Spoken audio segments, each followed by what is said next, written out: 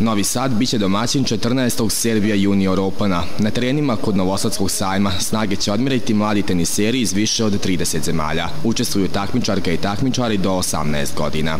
Izuzetno jak turnir već po tradiciji, gde nastupa u stvari je prijavljeno više od 200 igrača iz 36 zemalja sveta, ali smo mi mogli da prihvatimo samo jedan manji broj u skladu sa njihovom rang listom.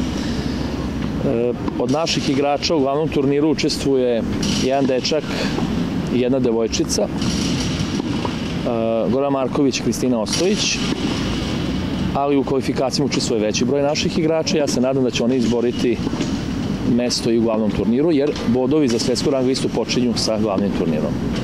Svojevremeno na ovom teniskom turniru učestvovali su i Novak Đoković, Janko Tipsarević, ali i naše tenisjerke Jelena Janković i Ana Ivanović. Svečano otvaranje je u nedelju u 18 sati i 30 minuta, a ulaz je besplatan.